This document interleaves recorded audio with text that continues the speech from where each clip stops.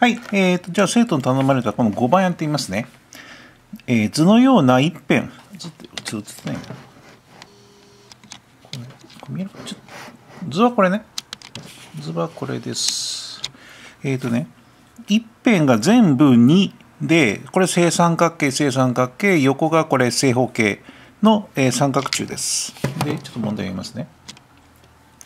図のような一辺長さが2の2つの正三角形を上面と下面に持ち、3つの側面が正方形である三角柱 OABCDE があると。で、えー、っと、で、説問これ見てください。要はね、この3番なんですよね。3番。えー、線分 OE 上の点 P を中心とする半径1の球面を S1。線分 BD 上の点 Q を中心とする半径1の球面を S2 とすると。P キーを自由に動かして S1 と S2 が交わりの円を持つ場合を考えると。その交わりの円を K とするとき、K の面積の最大値を求めなさいと。じゃあちょっともう一回問題を。見見えるかな、はい、じゃあちょっとこれで30秒ほど置いときますので、ちょっと読んでください。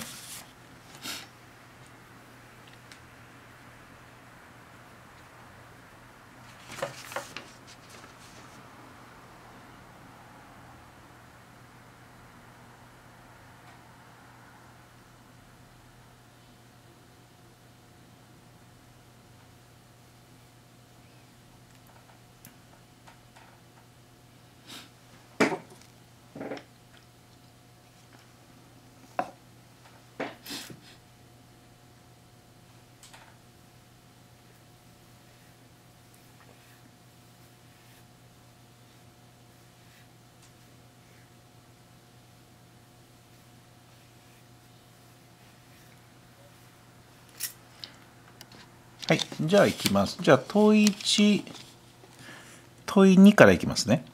はい。じゃあ、いいかな。はい。じゃあ、いきます。じゃあ、これ、ベッシーでまた図を書いたんですけども、一応確認です。これ、三角柱ね。鉛筆、鉛筆。鉛筆えー、っと、上が正三角形、長さは全部2ね。2やったっけ？全部2や。1やねんな。2や。はい。で、横がこれ、側面が正方形ね。はい。で、点が O、A、え ?O、ABC、あれ？あ、O、ABC か。DE ね。で、これ点 P、点 Q があると。S 対 1-S に内分する点が P ね。で、T 対 1-T に内分する点が Q ね。はい。じゃあいきます。で、あと小文字の A ベクトル、小文字の B ベクトル、小文字の、あ、ごめん、小文字の B、これか。これが小文字の B ベクトル、小文字の C ベクトルね。じゃあいきます。内積の A ベクトルと B ベクトルなんだけど、えー、っと、これとこれの長さ2です。だから 2×2× 間のコサイン。コサイン当然60度ですよね。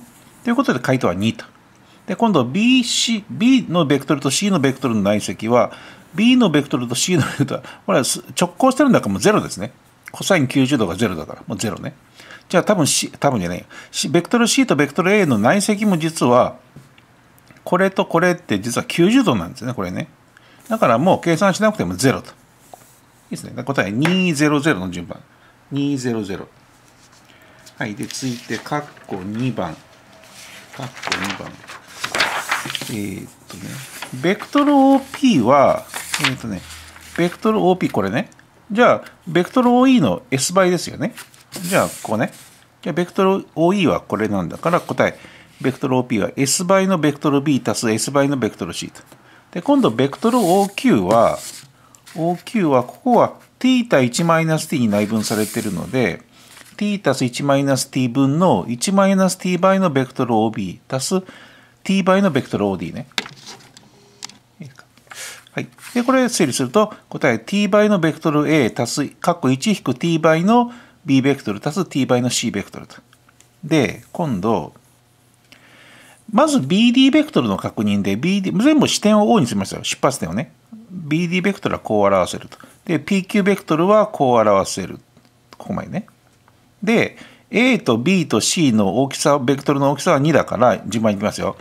ベクトル PQ とベクトル OE の内積は、これベクトル PQ ね。これベクトル OE ね。で、もう分配してください。こう一個一個ね。一個一個こうやって分配してください。そしたらこうなります。分配すると。じゃあ、ベクトル PQ とベクトル OE の内積は、マイナス 8s たす 2t たす4。ここまで。はい。じゃあ、同様に、ベクトル PQ とベクトル BD ね。で、関係ないけど、これ2番がね、3番と関係あるんですよ、実は。だから3番迷ったら、あ、これ2番や、2番を使う、1番とか2番使うんかというふうに思ってくれる。まあ、数学ってそんなもんですよね。じゃあ、ベクトル PQ とベクトル BD、はい、かけます。じゃあ、一個一個こうやって分配してください。そしたら、こうなります。答え、マイナス 2s 足す 8t 引く2ね。いいでしょうか。はい。じゃあ、カッコ1、カッコ2は出ましたと。で、カッコ3ね、これね。ちょっとずですよ。私たくさんずれけど。えー、点 P こうありますね。点 Q こうありますね。で、半径1ですよね。半径1。半径1の9を作ったと。で、重なったのはここね。で、えっ、ー、とね、ここ半、これ半径ですね。半半径1よ。半半径1ね。で、ちょっと R って書いたけど、この、この円の K の R ね。問題文に円、円、重なってる円は R って書いてあるから、あ、K、K って書いてあるから、これ、これ、え、太、マジックで書いたのは円 K ね。の半径が R としましょう。そしたら、ここここが、まあ、こうぶつかったところの一番てっぺんね。またちょっと説明書かないといけない。で、こう中、えっ、ー、と、ここ、だから P と Q の真ん中を M としましょう。P と Q の、ま、P、あの、この S1 の中心 P、S2 の中心 Q ね。で合ってるよな、問題文。ちょっとですね。ちょっと待ってね。えっ、ー、と、問題文確認で、えっ、ー、と、線分 OE 上の点 P を中心とする半径1の球面を S1。あ、9、ごめん。え、いいんじゃない ?9、これ9だ。玉だ。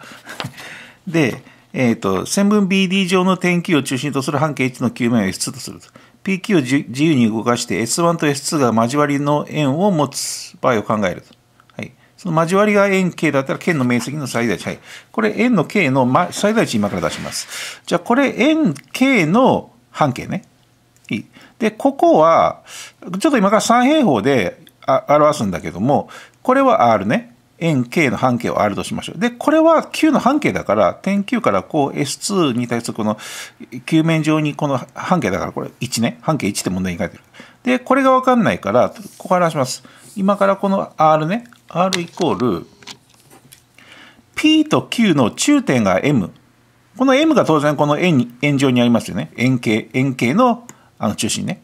じゃあこの r イコール三平方の定理からルート1引く2分の pq。だからこの長さの半分、これね。だからこれの2乗とこれの2乗がこれの2乗っていうのがこの式ね。じゃあ r イコールルート1引く1引く2分の pq の2乗と。2乗と。でただし pq は半径1半径1だから当然足して 2, 2よりちっちゃいはずですね。重なるんだから。じゃあ pq は、じゃあこれとこれを守ると。いきます。この R が最大となるのは、だから面積が最大ってことは R が最大ってことだから、R が最大となるのは、つまり PQ の距離が最初となればいいですね。PQ の距離が、だって大きかったら あの、円が作れないんだから、ちっちゃければ、この PQ の距離がちっちゃければちっちゃいほど、つまりこれがちっちゃければちっちゃいほど大きくなりますよね、当然、この値は。だから、R が最大となるのは、PQ の距離が最小となるとき。で、いきますよ。PQ 垂直 OE かつ PQ 垂直 BD となる PQ が存在すれば線分 PQ の長さは最小となる。これはわかりますかね？さっきの問題ちょっと使うと、えっとね、ちょっとね。えっとね、ここに、P からえ Q 書くんで、Q、束を作るんですね。Q から P, P から Q、Q から Q、同じ半径1の Q, Q ね。で、えっ、とね、この PQ と OE が垂直だったら、えっ、ー、と、かつ、えっ、ー、と、PQ とこの BD が垂直だったら、PQ の長さ一番短いですよね。だって P がこの辺にあったとしたら 長くなりますよね。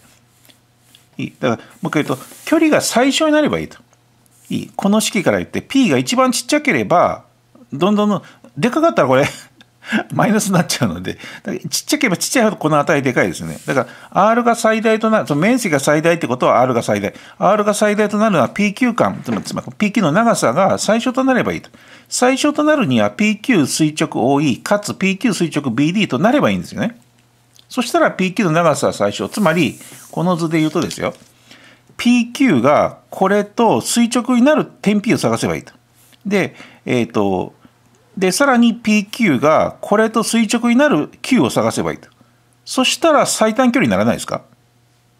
なりますよね。だって P がこの辺にあったとしたら PQ こう長くなっちゃうから長くなりますよね。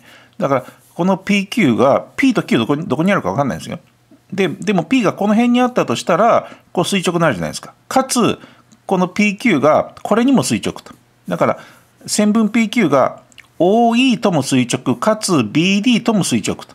になる、えっ、と、点、点 P と Q を探しましょう、今から。いいですかね。もう一回言いますよ。この長さが最大だったら、これ重なってる円ですよ。円形ね。この半径、この円の半径 K が最大となるには、この式から PQ の長さが短ければ、ちっちゃければちっちゃいほどいいと。ということは図からしてこれが言えると。はい、じゃあいきます。これからじゃあ計算しますよ。このための条件は当然内積が0だから、えー、つまりこれ垂直これ垂直ってことはこれかつこれですよね。いいかな？つまり2の1から これ言えてますね。2の1から。